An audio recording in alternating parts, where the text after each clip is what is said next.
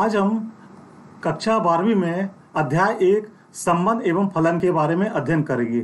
इसमें छात्र ध्यान दें, इसमें हमने सरल विधि द्वारा आपको समझाने का प्रयास किया है।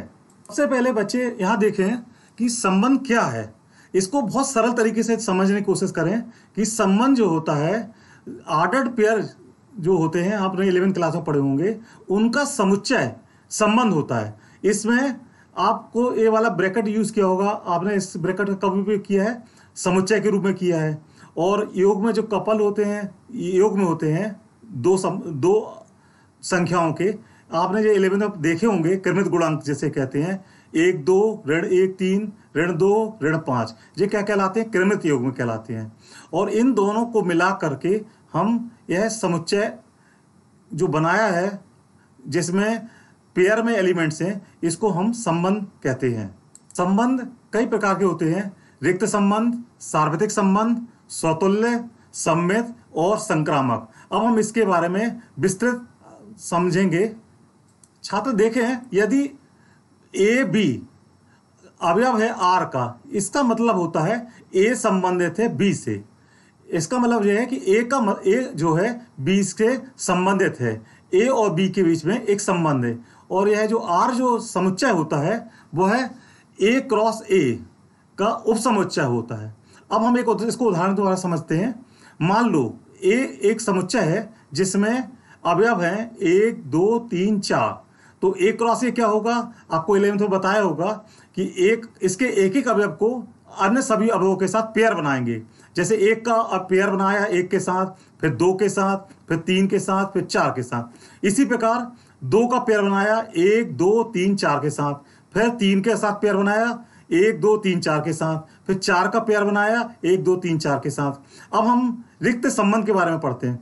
तो रिक्त संबंध क्या होता है? समुच्चय ए पर परिभाषित संबंध आर एक रिक्त संबंध कहलाता है। यदि ए का कोई भी अवयव, ए के किसी भी अवयव से संबंधित ना हो, अर्थात आर क्या हो जाएगा? रिक्त संबंध हो जाएगा। और यह किसका उपसमुच्चय होता है? ए क्रॉस ए का। अब इसका एक उदाहरण द्वारा समझते हैं कि आर बराबर एक हमने संबंध डिफाइन किया है ए बी क्या ए बी में क्या संबंध है? ए माइनस बी बराबर दस। अब हम ये देखते हैं कि जो ए क्रॉस ए का हमने उदाहरण लिया है, उसमें कोई भी ऐसा पेयर नहीं है कि जिसमें हम एक को दूसरे से घटाने पर उसका दस के बराबर मान आता हो। अर्थात इस जो समीकरण को यह ए क्रॉस ए का कोई भी अवयव संतुष्ट नहीं करता है। इसका मतलब आर जो है फाई है। तो यह आर क्या कहलाएगा? रिक्त संबंध कहलाएगा। सार्वत्रिक संबंध के बारे में देखेंगे। सार्वत्रिक संबंध क्या होता है? यदि ए का प्रत्येक अवयव ए के सभी अवयवों से संबंधित हो तो वह संबंध सार्वत्रिक होता है।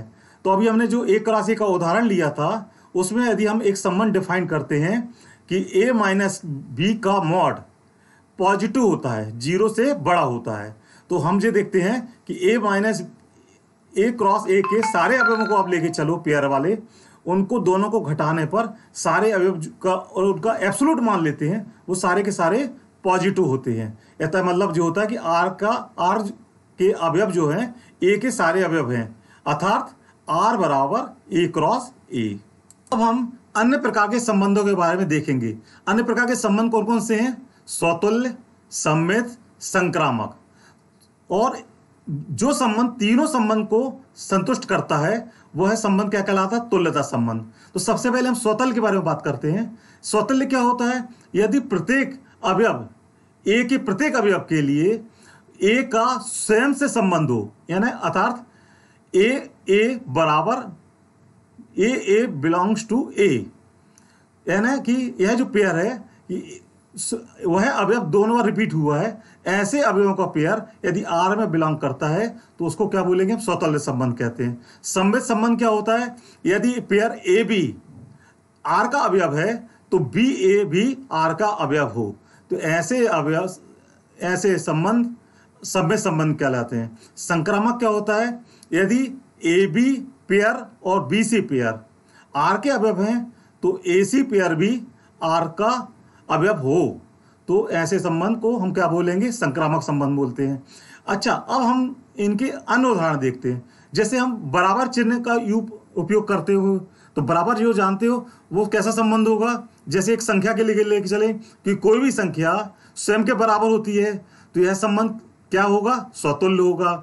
संबित के लिए यदि हम मान लेते हैं कि ए बराबर बी के है तो बी बराबर ए के होगा। यानी यह जो बराबर का संबंध जो है वह संबित भी होगा। संक्रामक देखेंगे, यदि ए बराबर है बी के और बी बराबर है सी के तो ए बराबर सी के होगा।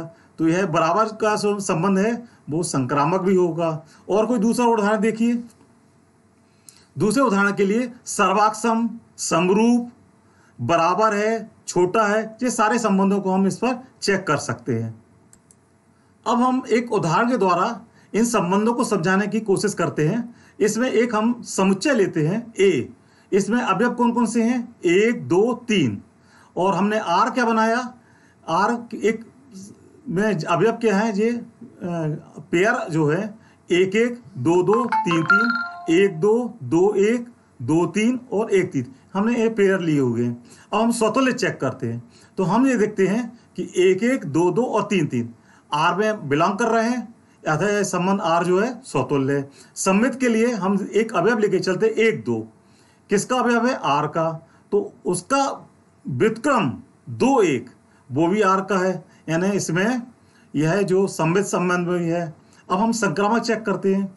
यदि एक दो और दो तीन किसके अवयव हैं? आर के। तो यदि हम दो को हटा देते हैं तो एक तीन जो पेयर होगा वह भी आर में है। आर में दिख रहा है? हाँ, यहाँ दिख रहा है आर में। इसका मतलब आर जो है, संक्रामक भी है।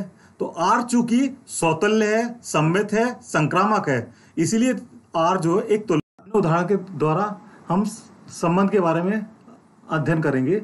इसमें ए एक समुच्चय है, जिसमें बालकों की स्कूल में सभी विद्यार्थियों का समुच्चय है। और आर कैसे डिफाइन किया है, इसमें ए और बी का पेयर जो है, इसमें ए बी की बहन है। इस इस संबंध द्वारा इसको डिफाइन किया गया है। तो हम ये देखते हैं कि आर जो समुच्चय है, जिसमें ए बी का जो पेयर है, जिसमें ए बी की बहन है तो किसी बालकों के स्कूल में बालिका नहीं हो सकती है, अतः ए बी की बहन नहीं हो सकती है। इसका मतलब इस संबंध आर जो है, कौन सा संबंध होगा? रिक्त संबंध होगा। अब आर डैश दूसरा एक संबंध डिफाइन किया है। ए बी का पेयर है, जिसमें ए बी के ऊंचाइयों का अंतर तीन मीटर से कम है। तो यह स्पष्ट है कि दो विद्यार्थियों की ऊंचाइयों का अंतर हमेशा तीन मीटर से कम ही होता है। अतः आर जो है, इसमें एक क्रॉस ए के सारे, सभी अवयव आएँगे। यानी आर बराबर एक क्रॉस ए तो आर क्या हो जाएगा? एक सार्वत्रिक संबंध होगा। हम एक दूसरा उदाहरण देखते हैं, जिसमें टी जो है, वो उसमें सभी त्रिभुजों का एक समुच्चय है। और इसमें एक आर जो डिफाइंड किया है कि दो त्रिभुज लेके चल रहे हैं T one T two T one T two के सर्वाक्षम है। तो यह संबंध हमको दिखाना है कि यह एक तुल्यता संबंध है। तो हम जानते हैं कि कोई भी त्रिभुज अपने आप में सर्वाक्षम होता है, यानी टी वन सर्वाक्षम है टी वन के। अतः आर एक स्वतुल्य संबंध है।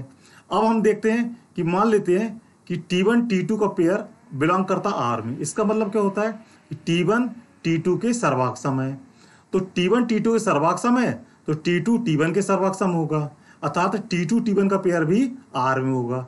तो यह संबंध क्या कहलाएगा? सम्मित। अब तीसरा देखते हैं। संक्रामक चेक करते हैं। जिसमें यदि हम दो लेके चलते pair T one T two और टी टू थ्री किसके अवयव हैं? आर के। इसका मतलब क्या हो गया? टी वन टी टू के सर्वाक्षम है। टी टू टी थ्री के सर्वाक्षम है। तो इससे निष्कर्ष क्या निकलता है कि टी वन जो है टी थ्री के सर्वाक्षम होगा। अर्थात टी वन टी थ्री का पेयर जो है, वो आर में बिलोंग करेगा। ऐसा है, आर एक तुलता संबंध है। अब हम देखते हैं, एक हमने समतल में स्थित सभी रेखाओं का एक समुच्चय लिया है एल और उसमें एक संबंध डिफाइन किया है, जिसमें दो line L one L two का पेयर लिया है, जिसमें एल वन एल टू पर लंब है। इस संबंध के बारे में हम अध्ययन देखेंगे। तो हम ये देखते हैं कि स्वतुल्य चेक करते हैं तो कोई भी लाइन स्वयं पर लंब नहीं होती है, अर्थात एल वन एल वन का पेयर आर में बिलोंग नहीं करेगा। अतः यह संबंध स्वतुल्य नहीं है। अब हम देखते हैं सम्मित चेक करते हैं कि यदि एक एल वन एल टू का पेयर लेके चलते हैं, यदि एल वन एल टू पर लंब है तो एल टू एल वन पर लंब होगा।